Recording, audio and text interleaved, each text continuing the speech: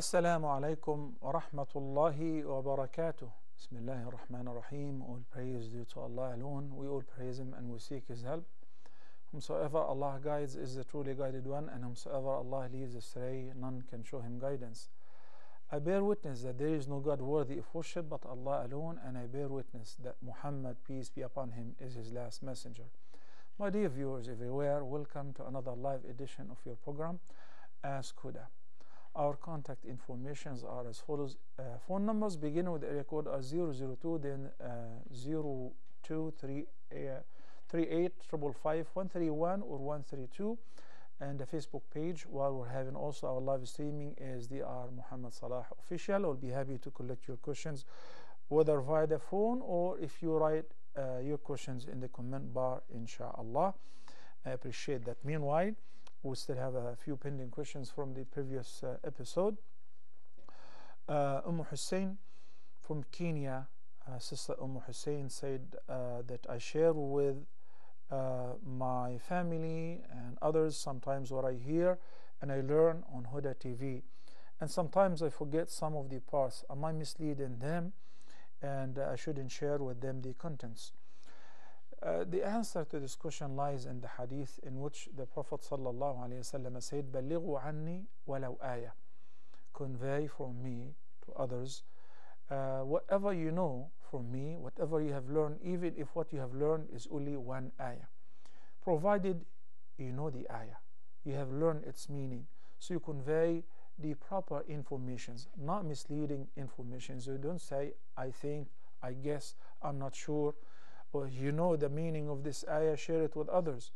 And in the farewell speech of the Prophet ﷺ, he said, فَلْيُبَلِّغِ الشَّاهِدُ مِنْكُمُ الْغَائِبِ let those who are uh, present and have witnessed my statement convey to those who are absent because the main quality of this religion is enjoining what is good and forbidding what is evil and that will not be achieved except through conveying the message so maybe you heard an answer to a question uh, on Huda TV or you read it in any of these media platforms or websites you can save it, you can read it again, then you can share it with others, and you can quote the reference.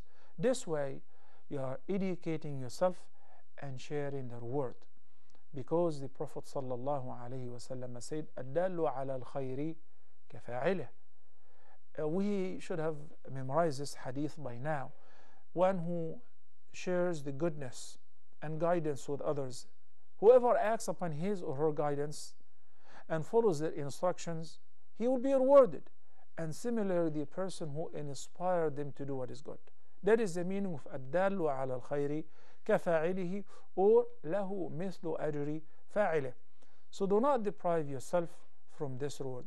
Sometimes it's not even uh, an information or knowledge, an experience. You tell people how lovely it is to attend the Fajr prayer in the masjid. And you listen to the recitation and it made your day without telling them, oh, you gotta try it, please go and do this. You talk about your experience. I bet you. Next day, you will find people who are going on their own because this is a human nature. So, the Quran itself was delivered as Bashiran wa Nadhira, exhorting people, promising them a reward, encouraging them to do virtuous acts through promising a reward, wa and as a, a warning, warning against committing um, sins, warding them off because if you, um, you step your boundaries, you will be punished with this punishment and with that punishment and so on so sometimes it is best to use the exhortation method and sometimes it is prescribed to use a warning and sometimes it is recommended to do both based on the circumstances. Assalamu alaikum wa rahmatullahi wa barakatuh. Haidara from Senegal. Assalamu alaikum, Haidara. Yes, Sheikh, how are you? Doing fine, Alhamdulillah. Thank you for calling. I understand you oh. guys speak French in Senegal, am I right? Yes, you are right, but uh, we don't even have light. I'm not watching it through my television. It's through Facebook and my phone also. I'm having low battery. If you can help me with your number, please. Okay. I have question to ask you, me and my husband. Sure. Go ahead, Sister is Haidara. Hello? Yeah, yeah. Go ahead, please. Yes, I said my my phone is flat now. I'm watching through Facebook. I don't have light. Our light is gone just now. I said if you can help us with your number, then after we have like when I charge my phone, then I will ask the question. Okay. I want to ask. Okay, okay. Uh, the brothers, please pass my number and also the ask the numbers to Sister Haidara from Senegal. Her battery is dying. Assalamu alaikum wa rahmatullahi wa barakatuh. Sister Fazana from India. Yeah, Assalamu alaikum wa rahmatullahi wa barakatuh. How are you, Sheikh? Wa alaikum assalam wa rahmatullahi wa barakatuh. Doing fine, Sister Fazana. Thank you for asking. I've got two questions, uh, Sheikh. One, uh, my first question is, um, we I, I used to recite the Surah Baqarah only in the morning, but recently I came to know that it should be read as well as in the evening. So, one time is sufficient, uh, Sheikh, for three days if it is okay, or like one day. Okay, okay. No, anytime. Yeah, Anytime you want to recite Surah Al-Baqarah, morning or evening, there is no specific time. No problem. As long as, as you said, that you recite it every three days at home. to recite in the evening.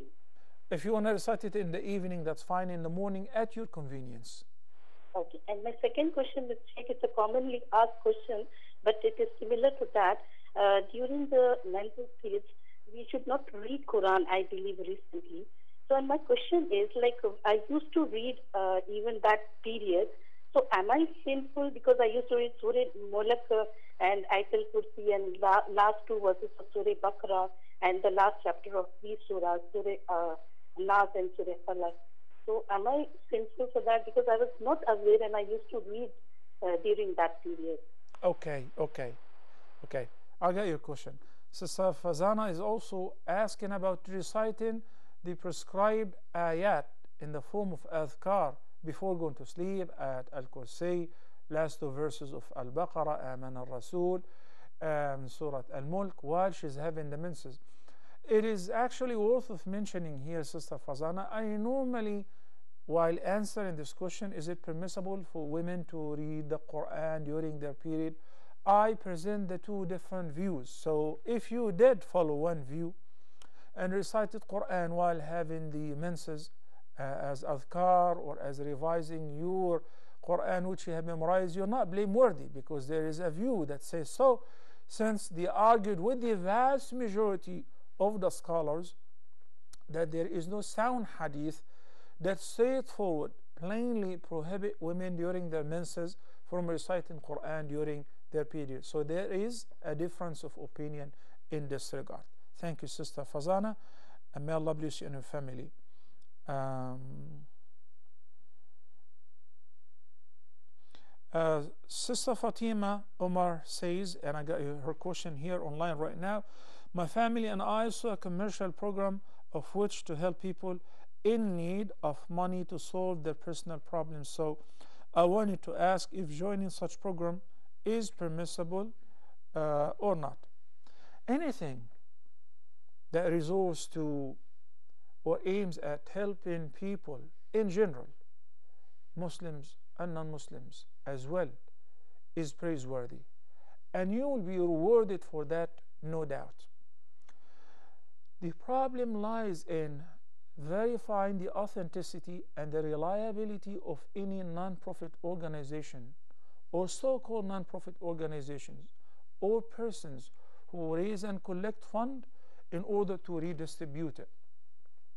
So, only I recommend that you should do so out of your voluntary charity because as zakah is to be directed only to its recipients who are Muslims, explained ayah number 60 uh, of Surah At Tawbah.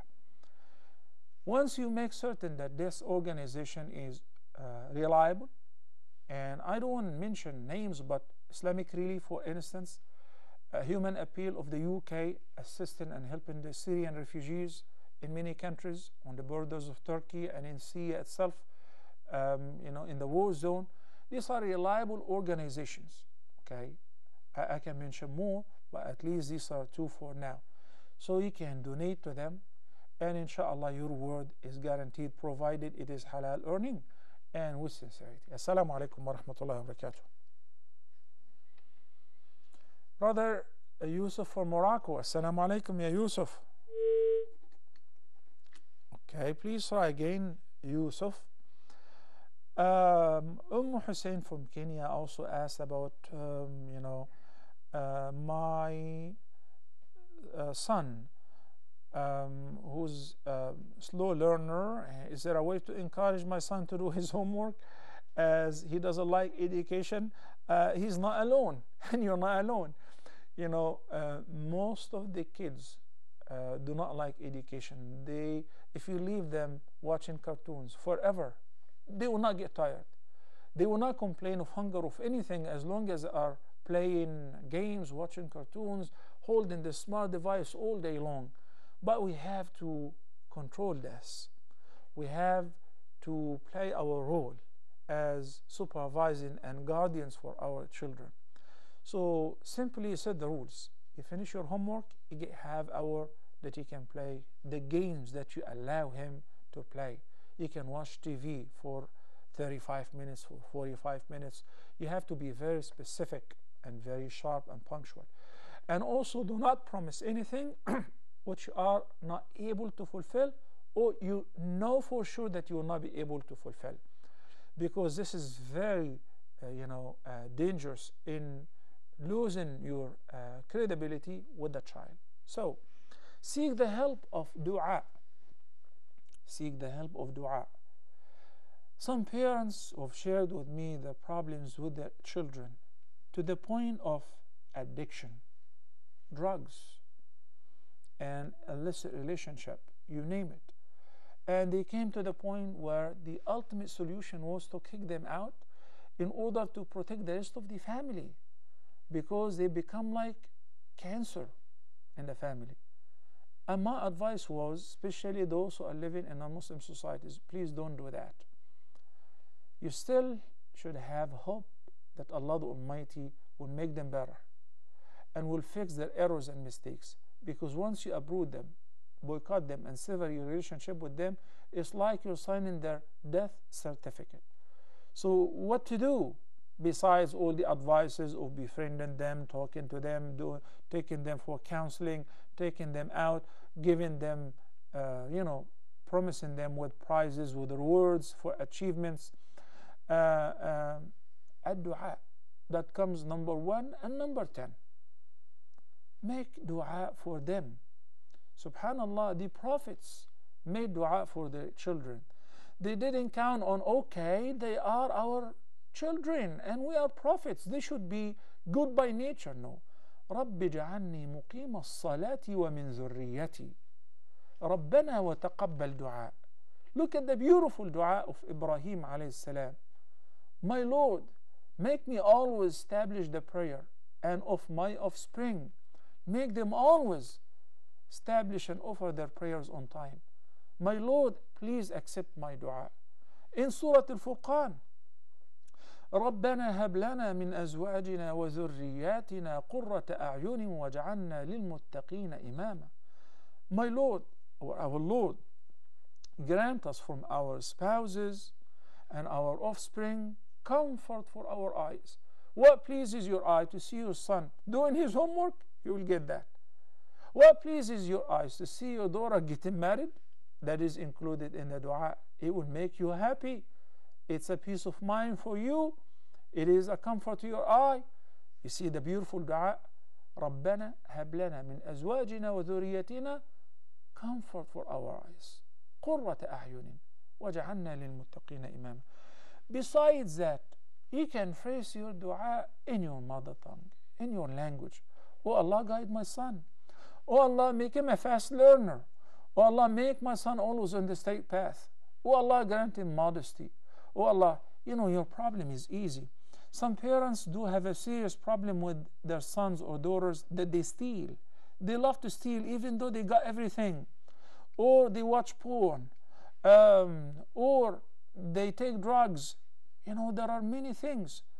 All of that can be fixed simply with a single dua which may be accepted. So I, am not sure when my dua will be accepted, and that's why I keep making dua On Friday, especially after Asr and until set, sunset, that is the time during which there is one hour, one time where your dua will never be rejected. Isn't it worth it? In your sujood, after you recite the tahiyyat, the tashahud, and before making taslim, Allah the Almighty said, just ask, and I will grant you whatever you ask for. Don't ask Him when, don't ask Him how, because this is totally His, not yours. So pray for your sons, pray for your daughters. And there are two things. One of them, which I mentioned, which is a dua, and the second is you yourself. So to make dua for your children, that helps a great deal in making them good and righteous, making them successful and making them prosper. And the second is you yourself behaving yourself, taking care of your relationship with your Maker, with your Creator. Allah Almighty taught us so in Surah Al Kahf. When He sent the righteous man Al Khadr in the company of a prophet and a messenger, Moses, peace be upon them, traveling in the earth, then He guided them to this village, very, very, uh, you know, uh, poor and uh, miser village, miser people and he ordered them to reconstruct a wall. He asked them why. Later on, he explained, وَكَانَ أَبُوهُمَا صَالِحًا فأراد ربك أن يبلغ أشدهما ويستخرج كنزهما So Allah the Almighty blesses the offspring because of the righteousness of the parents. Al-Hasan al-Basri says he, Abu Huma was not their immediate father, rather he was the seventh great grandfather. The righteousness of the parents will benefit the offspring. So pray, increase making dua, fast voluntary fasting, give in a charity, help an orphan, uh, uh, a family which have orphans. So Allah the Almighty will help you through your children. Assalamu alaikum. Brother Yusuf from Morocco, Assalamu alaikum. Okay, please try again. Brother Yusuf, that is the second uh, time, second attempt. Uh, Brother Omar from Qatar, he asked earlier in the last episode, he said about credit cards and whether it's permissible to use them uh, or not, and if if I use them, I get a discount on food and other goods. Look, brothers and sisters, we say the problem with the credit cards that when you sign an agreement with the bank, with the credit card company, you sign an article which states that if you're late, you agree to pay interest. This is shartun fasid. Okay, that's a corrupt term. Some of the scholars consider this corrupt term invalidating the entire contract. Okay, so, but we say that in cases of necessity, you can use it provided that you avoid this term. How do you avoid it? And what, what, what are the necessities in this case? Uh, let me take this call, inshallah. Afterward, I will continue answering this question. Brother Muhammad from the case. Assalamu alaikum, Muhammad. Wa alaikum salam, How are you? Doing fine, Alhamdulillah. Thank you for asking, brother. Say, I have a question. You know, my wife used it to not every time, but occasionally because uh, uh, for her to take um, uh, you know ghusl in the night. You know, um, what she will do is she will uh, uh, do Isha around uh, three o'clock or four o'clock, just uh, one hour before Adhan. Mm. Um, is it allowed or not? Okay. According to the more right, according to the more right view, that the last time for the Isha prayer, the valid time where it will be considered uh, that you offer the Isha on its right time is midnight. So according to it, it is not permissible to postpone the Isha prayer to past midnight, whether a few minutes past midnight or an hour or two or before Fajr. Okay? Because in the second time that Jibreel alayhi came to lead the Prophet sallallahu in the prayer, he came to him in two consecutive days. In the first day, he led him in the five daily prayers at the earliest time of each prayer and in the second day at the latest time of each prayer. Okay, and he said between the two times is. This is where you can pray. So accordingly, we have learned that midnight is the last time for the Isha prayer to be offered on time. After that, it will be qada. Okay? As I say, this is according to the more right view. Keep in mind that midnight is not always 12 a.m. I've explained that repeatedly, but sometimes you have new viewers who may think that midnight is 12. No, sometimes midnight is 11. Sometimes midnight is 10:30. It is the result of dividing the time between sunset and dawn by 2. Then you add this result to the time from sunset. So if it comes to five and a half hours and it is maybe 5.30 so it becomes 10.30 or 10 p.m. or 11 that is midnight assalamu alaikum wa rahmatullahi wa barakatuh sister Umm Abdul Rahman from the KSA welcome to Ask Huda Assalamu alaikum wa rahmatullahi wa barakatuh wa alaikum My wa question- rahmatullahi wa barakatuh My question is about uh, there are some some Muslim communities who eat raw meat, raw animal meat, and I was just curious if, if there's anything in Hadith or in Sharia that says uh, that we must um, cook our meat. okay got your question. that was that's my only question. Okay. Uh, jazakum, uh, Sister Umm Abdurrahman. I, I personally think it is disgusting and sickening, and it is sickening health wise. Uh, no, the prohibition is once the animal is uh, lawfully slaughtered and tazkiyah was done and it is halal to eat it, okay, then some people do um, salt in the meat so that through salt in it it will be like partially cooked like dried meat. But to eat raw meat it is definitely sickening. The possibility of getting sick is very high. And there are a lot of severe warnings against even eating the uh, medium done uh, steaks. You know sometimes when you're sitting at the restaurant and they serve the steaks medium done or uh, you know and you see blood in it this is dangerous it must be cooked in order to avoid getting sick and certain uh, diseases as a result of eating uh, raw meat. What does the Sharia say in this regard? Is there any specific prohibition against eating raw meat? No. But there is a general prohibition against uh, consuming anything which is harmful, which hurts your health. So, eating too much sweet, if it hurts you, it will make you diabetic, or if you're diabetic and eating too much uh, sweet and sugar uh, is not advised by the doctor, then you should avoid it by the Sharia too. Allah the Almighty, in describing Prophet Muhammad and his Sharia law, his constitution, as it was given as a glad tiding and a prophecy to Prophet Moses, peace be upon him, in the Torah, and that is mentioned in Ayah 156 of Surah Al-A'raf.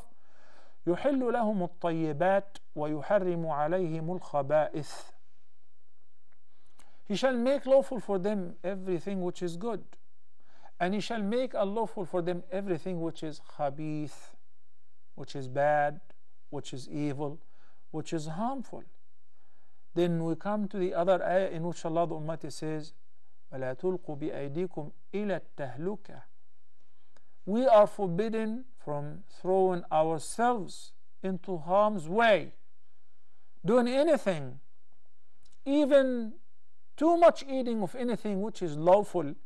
If it harms, it should be avoided. It is restricted. Why? Because it will harm you.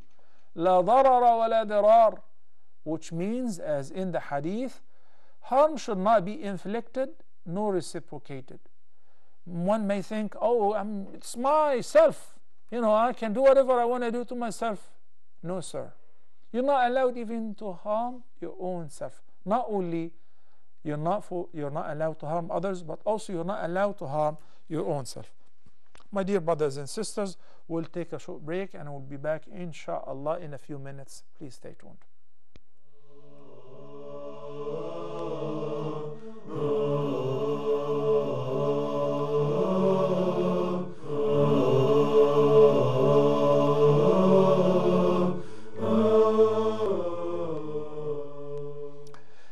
Assalamu alaikum wa rahmatullahi wa barakatuh and welcome back. Uh, one sister, Sister Aisha Arsal, is asking here I want to know if a woman accepted Islam and she was already married to a Christian man before. After she became Muslim, she separated from her Christian husband. Is it permissible for her to remarry a Muslim man? Only after the iddah period is over. That is the right of the husband even if he is not Muslim. What is the iddah period? والمطلقات يتربصن بأنفسهن ثلاثة قروء. Three periods must pass after you accept Islam, three menses. Uh, if they pass and you're not pregnant, okay, then you're free to marry, unless if he accepts Islam and he keeps you as a wife, okay. But if you're pregnant, then the iddah is extended till delivering the baby. Assalamu alaikum wa rahmatullahi wa barakatuh. Brother Ali from Pakistan. Yeah, my name is Ali, and uh, I want to ask you uh, one question. Now, Okay, so my I have a three three and a half years old son, and he's uh, suffering from autism. may Allah cure him. May Allah cure him, Ali. Yeah, so I want to ask you about any remedy or any cure which you suggest. Okay, okay. Jazakallahu khairan.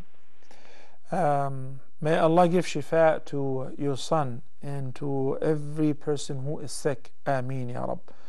Um, besides, of course, making dua for him and reciting the regular ruqya, I would advise you to pursue the clinical treatment. Uh, before the break, we were answering the question of the credit card issue and utilizing them. I spoke about um, or fasid and um, you know to what extent it invalidates the contract. And I say that in cases of necessities, it is permissible to get such card. What is the necessity? You know, some people who live in the West and in some societies, literally cannot buy a plane ticket or rent a car or pay their bills without having a credit card or rent a flat or a house. They need to provide a valid credit card number. So you may use it.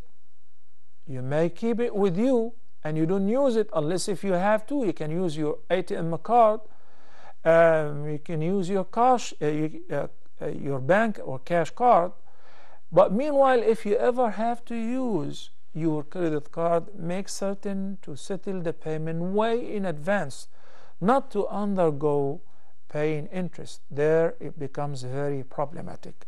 May allah make it easy for all of us. Say say says in her question i wanted to know the ruling on a person who is engaged to mr x. Why mr x? For a couple of months and mr x was taking care of the person financial and after some time there was uh, no communication and the person went ahead and she married to mr y. What should the person do uh, now because she had uh, from she heard yeah from somewhere that it is not right? Okay i will answer that inshallah after this call. Assalamu alaikum. Sister fatima from kenya. Hello. Assalamu alaikum sister fatima welcome to ask Huda. Oh, alaikum salam.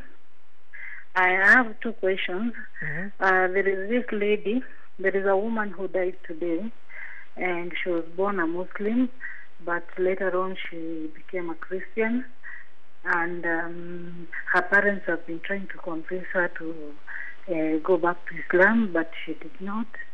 And um, now, um, should the parents get involved in the burial? With the burial, and i mean is she uh, dead this, is she dead uh, Yes, she died today. إنا لله وإنا إليه راجعون. Very sad news. لا حول ولا Yeah, قوة she's been إلا sick بالله. for two years and they've been trying to get her back to Islam, but they did not succeed. Now I'm asking, um, she's Mm. going to be buried tomorrow um, in a Christianity way. So, what are the parents supposed to do in, in such, a, uh, such, a case? May Allah have my mercy on her parents and give them patience. Go ahead, go ahead, Fatima. Uh, my second question is when I punish my children, after a while I feel mercy for them and I regret. Uh, is this the same with Allah? When Allah punishes us when we, we, we make mistakes, does He later on feel um, mercy for us because they say that Al- Allah mercy is more than a mother's love and mercy? I was wondering when I punished my children today, and I felt uh, later on, so I kept wondering if, if that is the same with.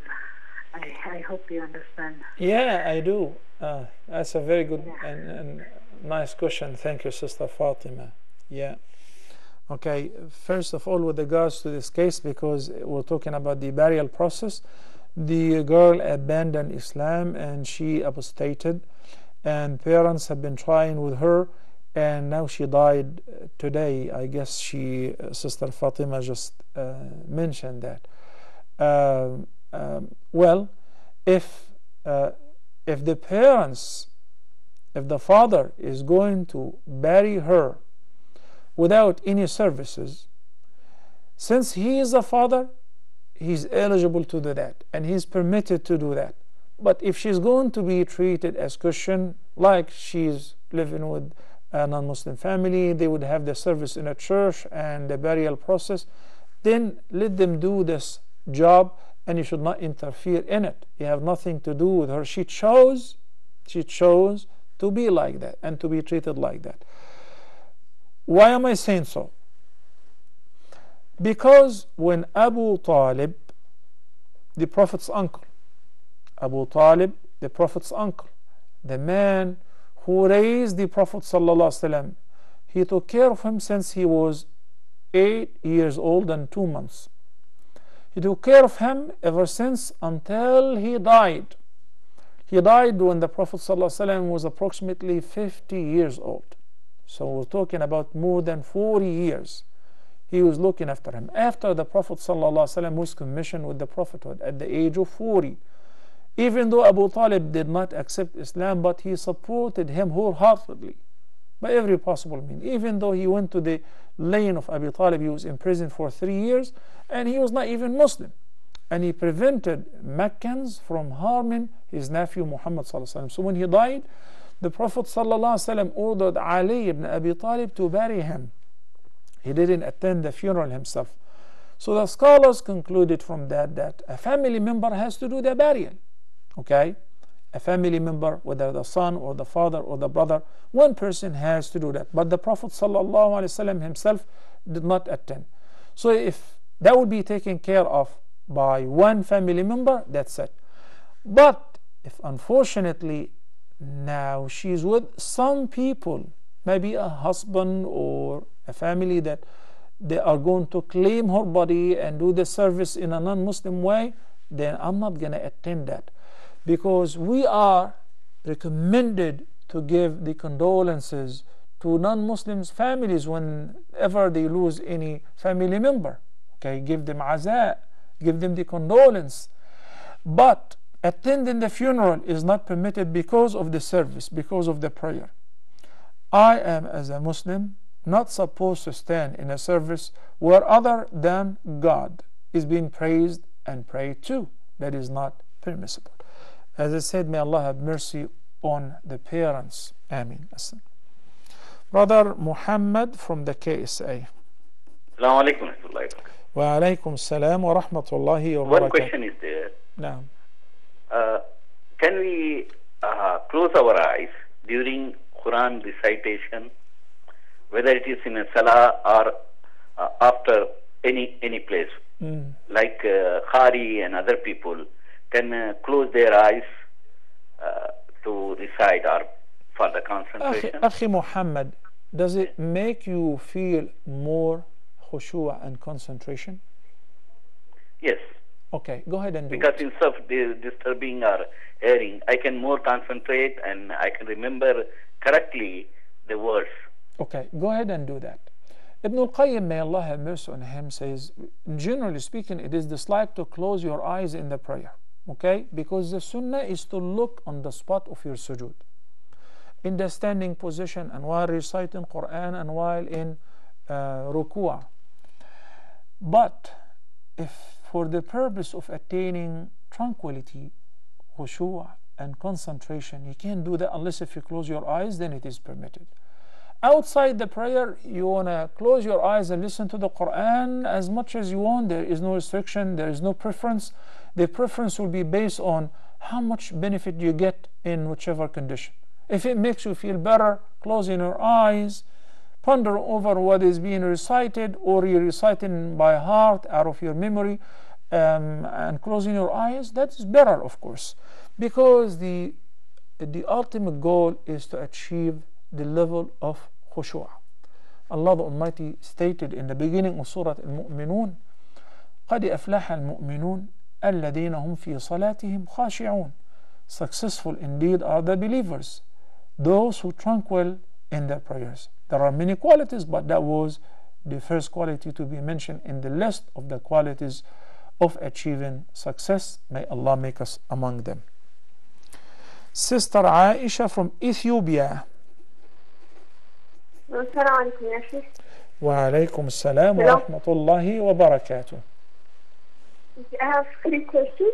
نعم, go ahead, Sister Aisha. My first, my first question is: is it allowed for a woman to recite the Quran loudly, like in the masjid? To That's my first. to recite the Quran loudly. in the masjid, yes, loudly. What do you mean in the masjid? In the ladies' halqa, you may. Only uh, with the ladies, yes. Well, I, I didn't get the last segment. Uh, when we recite the Quran, if we recite it loudly, is it prohibited? w- Should we recite the Quran silently? Okay, okay, okay. Sister, it is permissible to recite the Quran loud if you are by yourself, if you are at home with your kids and family, if you are before your mahram, if you are in the ladies' halqa. It is only not permitted to raise your voice with a melodious sound in the presence of men who are not your mahram. Because reciting the Quran, we are commanded to recite the Quran beautifully. Women are not allowed to call adhan because also the adhan is commanded or recommended to be recited with a melodious voice. And Allah the Almighty ordered women in this case to lower their tone فلا تخضعن بالقول فيطمع الذي في قلبه مرض But if you are in a ladies halqa, you want to recite Quran as loud as you want, no problem. Heard by your family members, no problem. Assalamu alaikum. Assalamu alaikum, Sister Aisha from Ethiopia. Okay, please try again. Mm. Anna Khan uh, is uh, saying that uh, I've asked last time about how to give da'wah to our least practicing family members. Um, you know, trust me, giving da'wah to family members is actually harder than giving da'wah to strangers. Because in the case of the family members, you really have to adhere to your instructions.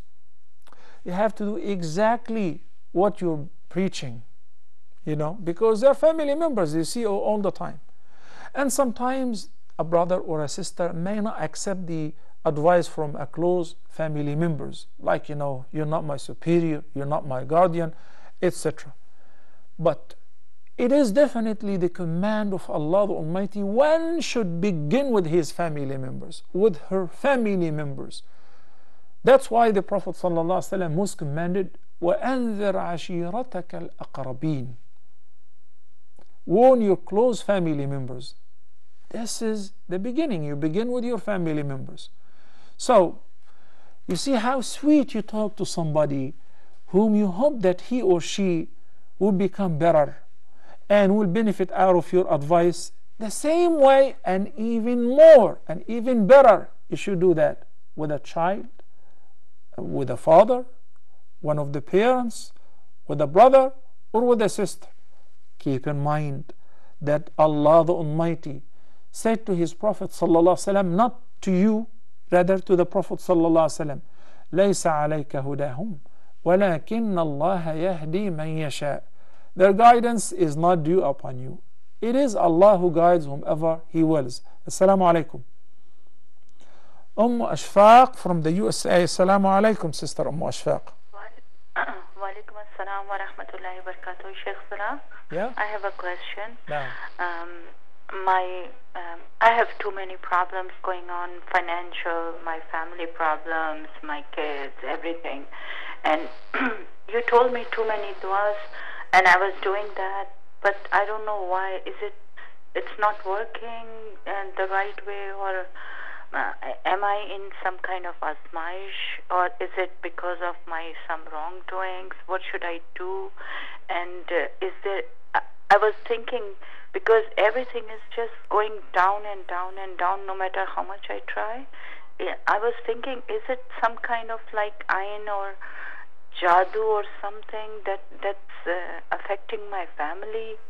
I'm trying to do, but the thing is that nobody in my family prays salah Oh, and I, I, only I'm trying to be on salah and everything, but uh, yeah, mashallah. So you're saying no family member beside you prays?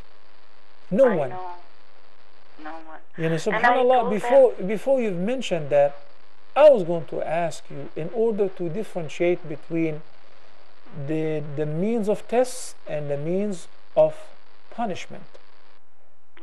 The object may be the same, the affliction may be the same, but it could be a means of trial, test in order to raise the person's uh, level into higher ranks, to wipe away some of his or her sins, to purify them, or the same test and trial as a means of punishment. Your family members must start praying right now. Are are you asking Allah for help? And you're not even. I do. I know, I'm, I'm not talking about you personally, okay? Those who are afflicted, aren't they your own family members or is it you? I, I try to tell them every time, just do salah on all that thing, but they just reply back, it's okay, you are doing, um, don't tell us, I know what we are doing. you you're doing Just- on our behalf. Uh-huh.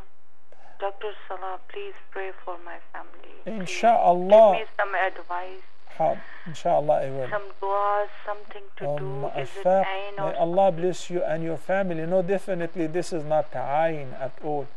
This is our own faults and error. Okay? This is our own faults which we need to fix so that Allah the Almighty will fix our lives, will take care of us. Allah the Almighty is just giving us a reminder. At least we're still walking on foot, we're still breathing. Please tell me what should I do. I pray Baqarah, Baqarah, Surah Baqarah. I pray, try to pray Salah. I try to do Sadqa, everything, you know. But it's only my effort. Okay, I got your question, Sister Umm Ashfaq. Uh, We actually ran out of time, so I hope the brothers would remind me to begin the next episode by answering uh, this question. Inshallah, it's very important. The sister who asked about Mr. X and Mr. Y, and she was engaged, and he used to support her financially. They used to communicate. Then all of a sudden, she dropped them, and she went ahead and she married somebody else. This is rude. This is very cruel. This is improper you know one is supposed even to be appreciative you know in the engagement you're absolutely free at any time to say sorry i don't think we're gonna be the best couple in the world. I don't think this uh, marriage would last. And it is your call and it is his call. It's just mere promise to get married.